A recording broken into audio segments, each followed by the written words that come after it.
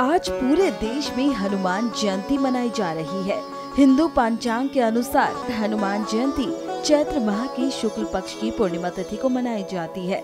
अंजना और केसरी के पुत्र हनुमान जी को वानर देवता, बजरंग बली और वायु देव भी कहा जाता है।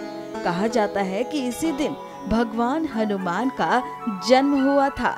ऐसे में भक्त उनका जन्मोत्सव मनाने के लिए बड़ी संख्या में हनुमान मंदिरों में पहुँच रहे हैं। कहीं भगवान की एक झलक पाने के लिए भक्त लाइनों में खड़े हैं तो कहीं उन्हें भोग लगाने के लिए 1100 किलो का लड्डू तैयार किया गया है। जी हाँ आपने सही सुना। ये 1100 किलो के लड्डू को मध्य प्रदेश के जबलपुर में हनुमान जी को भोग लगाया जाएगा। इससे पहले आप यहाँ लोगों में उत्साह देख सकते हैं। यहाँ के पुजारी ने इस भोग के बारे में बताया और इसका उद्देश्य भी बताया। तीन वर्ष से हमारे यहाँ पर हनुमान जी को एक टन लड्डू का महाभोग लगाया जाता है। इसमें 600 किलो बेसन और 400 किलो इसमें शक्कर, लगभग इसी प्रकार से उसमें घी बुलाया जाता है। 25 किलो मेवा मिष्ठान का बना करके इस प्रकार से इसका कुल मिला करके लगभग ग्यारह सौ किलो का यह लड्डू का निर्माण किया जाता है। हाँ आपने बहुत ही अच्छा यह बात पूछी क्योंकि इसका हम लोगों की तैयारी लगभग तीन माह पहले से रखना पड़ता है। सारे ऑर्डर्स दिए जाते हैं पहले से कारीगरों को बाहर से बुलाया जाता है और इसको बनाने में लगभग पंद्रह से बीस दिन लगते हैं। बाहर से महाराष्ट्र से और मध्य प्रदेश दो जगह के कारीगर आते हैं। इसमें लगभग पंद्रह दिन हमारा निश्चित रूप से लगता है। लड्डू बनाने के पीछे कोई उद्देश्य उद्देश्य है हमारा क्यों नहीं है भाई? अन्न पूर्ण सदा पूर्ण शंकर प्राण वल्लभ। हनुमान जी जो है रुद्र के रूप में है और भगवान शिव को इस प्रकार से अन्न का जो भोग लगा के लड्डू का प्रदान किया जाता है तो प्रभु की रिद्धि सिद्धि के दाता रहते हैं। इस प्रकार से उनको भोग लगाते सारी मनोकामनाएँ भक्त जो आते हैं उनकी पूर्ण करते इस भोग को देखकर यकीनन आप भी दंग रह गए होंगे।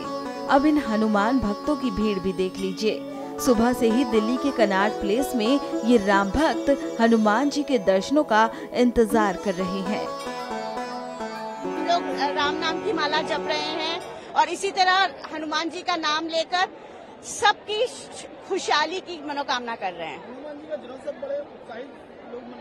बिल्कुल बिल्कुल उनके जो पसंद है लड्डू वो हमने कलेवा से स्पेशली मंगवाए हैं उनके लिए कि उनका भोग लगाएँगे जो उनके फेवरेट मिठाई है लड्डू बूंदी वो सब उनको चढ़ाएँगे सब प्रसाद सब में बांटेंगे। इसी तरह से हम हनुमान जयंती मनाएँगे। क्या संदेश देता है ये त्योहार? ये सबसे पहले तो एकत्रता का संदेश देता है। हिंदू धर्म का धर्म का जागरूकता होती है। और सब मिलकर इस त्योहार को मनाएँ खुशी मनाएँ मीठा बांटें मीठा खुशहाली रहे यही सब संकेत देता है। आज भीड़ भी बहुत देखने को मिल रही है काफ़ी बिल्कुल बिल्कुल हमें सुनने को मिला है जो चार बजे आए हैं वो भी रश में ही घुसते आ रहे हैं। जो सुबह दो दो तीन बजे के आए हैं वो अब बाहर अब मुश्किल से आ पाए हैं। हम तो हर मंगलवार को आते हैं सुबह यहाँ पर। हमारी पूरी लेडीज़ की एक मंडली है हम बारह चौदह औरतें हैं जो हर मंगलवार को सुबह आती हैं यहाँ पे। तो आज हनुमान जयंती भी थी लेकिन यहाँ ये देख करके हाल तो लग रहा है कि दर्शन पता नहीं हो पाएँगे कि नहीं हो पाएँगे। पर चलो उनकी महिमा है यहाँ तक पहुँच गए वही बहुत बड़ी बात है। संदेश तो यही है हिंदुओं के क्या सारे त्योहार एक जैसे ही होते हैं। बस ये भीड़ भड़का है बाकी सब खुशी से रहो। इकट्ठे हो रहो, त्योहार अच्छे से मनाओ अच्छा बोलो अच्छा करो, सबका भला करो। आज बहुत महत्वपूर्ण दिन है। आज राम जी के प्रिय भक्त, हनुमान जी का जन्मोत्सव है। हनुमान जी हमेशा ही राम जी के स्वरूप प्रिय रहे हैं और आज का दिन बहुत ही, हिंदुस्तान में बहुत ही महत्वपूर्ण दिन है।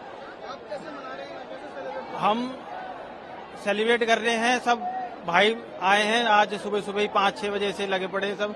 आज दर्शन हुए हैं, बहुत ही मुश्किल से, आप देखेंगे, बहुत लंबी भीड़ है, बहुत तांता लगा हुआ है, करोड़ों लोगों का लाइन लगी हुई है सुबह सुबह से। तीन तीन बजे चार चार बजे से लोग आए हुए हैं यहाँ पे। और बहुत ही महत्वपूर्ण दिन है। आज के दर्शन तो बहुत ही जिसको मिल गए, वो सौभाग्य में ही। प्राप्त हुआ बता दें कि इस दिन भक्त मंदिरों में जाकर हनुमान जी को भोग लगाते हैं और इस दिन को खुशी से मनाते हैं।